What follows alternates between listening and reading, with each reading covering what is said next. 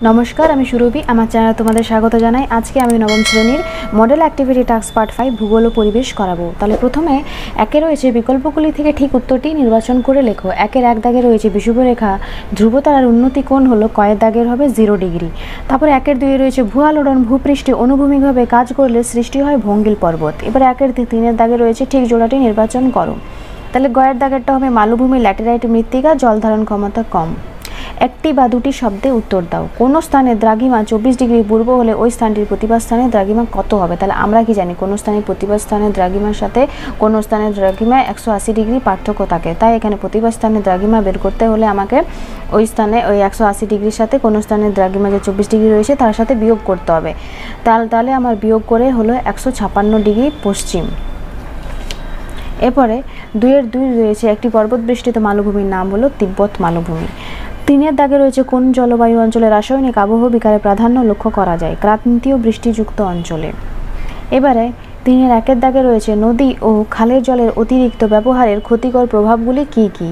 তাহলে এখানে তোমরা পয়েন্ট করে লিখে নেবে, ধৌত প্রক্রিয়া। অতিরিক্ত জলসেচের কারণে মাটির এ স্তরের খনিজ ও বি স্তরের চলে যাওয়ায় মাটির ওপরের স্তর খনিজহীন ও অনুর্বর হয়।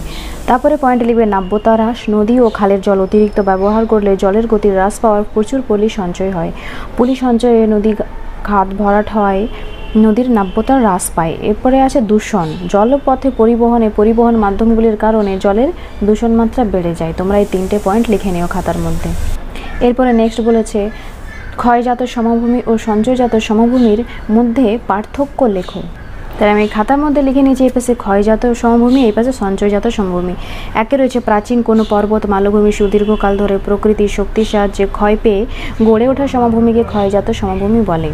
আবার এই পাশে রয়েছে প্রাকৃতিক শক্তির সাহায্যে ক্ষয়প্রাপ্ত শিলা বয়ে এসে নিচু স্থান ভরাট হয়ে গড়ে ওঠা সমভূমিকে সঞ্চয়জাত সমভূমি বলে। দুইয়ের দায়রে রয়েছে, এই সমভূমি বয়সে প্রাচীন আর এই সঞ্চয়জাত সমভূমিটা কি বয়সে নবীন? তাহলে উদাহরণ কোথায়? পুরুলিয়া, বাঁকুড়া সমভূমি হচ্ছে ক্ষয়জাত সমভূমি। আর এই পাশে সঞ্চয়জাত হচ্ছে সিন্ধু গঙ্গা ব্রহ্মপুত্রের সমভূমি। তাহলে তোমরা এই তিনটে পয়েন্ট ক্ষয়জাত সমভূমি, সঞ্চয়জাত সমভূমির পার্থক্যটা লিখে নেও। এরপরে চারের একে বলেছে কয়ের দাগে উচ্চ পার্বত্য অঞ্চলে তুষারের কার্যের ফলে শিলা আবহ বিকারগ্রস্ত হয়, চিত্রসহ ব্যাখ্যা করো। তাহলে এর উত্তরটা হবে উচ্চ অক্ষাংশের শীতল জলবায়ু বা উচ্চ পার্বত্য অঞ্চলে এই প্রক্রিয়া বেশি কার্যকরী হয়। শীতল জলবায়ু অঞ্চলে শিলাস্তরে ফাটলের মধ্যে থাকা জল রাতে অধিক ঠান্ডায় জমে গিয়ে বরফে পরিণত হয়। জল বরফে পরিণত হলে আয়তনে প্রায় নয় পার্সেন্ট বেড়ে যায়। ফাটল গায়ে বরফ প্রতিবর্গ সেমিতে প্রায় দু হাজার একশো পনেরো কেজি চাপ প্রয়োগ দ্বারা শিলা ফাটল বৃদ্ধি করে। দিন ও রাতের উষ্ণতা তারতম্যের জল ও বরফের চাপ বাড়া বা কমার জন্য শিলায় পীড়ন সৃষ্টি হয়। এই পীড়নে শিলা ভেঙে টুকরো টুকরো হয়ে যে তীক্ষ্ণ কোণাকৃতি শিলাখণ্ডে পরিণত হয়, তাকে স্ক্রি বা ট্যালাস বলে। তোমরা এতদূর পর্যন্ত এই ব্র্যাকেটের, এই যেখান থেকে ব্র্যাকেট দিয়ে যে শুরু করেছে, তোমরা এখান থেকে এই ব্র্যাকেট অবধি লিখে নিও। আর তোমাদের চিত্র অঙ্কন করতে বলেছে, তোমরা এই ছবিটা এঁকে নিও তুষার কার্যে শিলাগাত্র ফেটে যাওয়া। এই দেখো, তোমরা দিনের বেলায় এরকম হয়, এটা রাতের বেলা এরকম দেখা যায়, এমনি ফেটে ফেটে যায়। তাহলে তোমরা এই ছবিটা সুন্দর করে খাতার মধ্যে এঁকে নিও। পরে নেক্সট বলেছে, ক্ষয়ে অক্সিডেশন বা জারণ প্রক্রিয়ায় শিলা কীভাবে বিয়োজিত হয়? উদাহরণ সহ লেখো।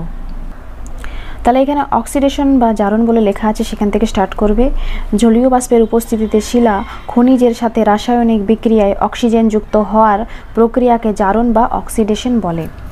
লৌহ সমৃদ্ধ শিলায় এই প্রক্রিয়া বেশি কার্যকর। এছাড়া অ্যাম্ফিবোল বায়োটাইট পারক্সাইন প্রভৃতি এই খনিজের উপর জারণ প্রক্রিয়া ক্রিয়াশীল। ফেরাস অক্সাইড রূপে এফিও রূপে থাকার সময় লোহা সহজে ক্ষয় হয় না। অক্সিডেশন পদ্ধতিতে ফেরাস অক্সাইড থেকে সৃষ্ট ফেরিক অক্সাইড সহজে ভেঙে যায়। এই প্রক্রিয়াকে ফেরাস সালফাইড বা ফেরাস সালফেট এবং ফেরাস অক্সাইড, ফেরিক অক্সাইড রূপান্তরিত হয়। অক্সিডেশন প্রক্রিয়াটি নিম্নরূপ। ফোর এফিও এটা ferrous oxide plus O two oxygen এটা, অক্সিজেনের সংকেত।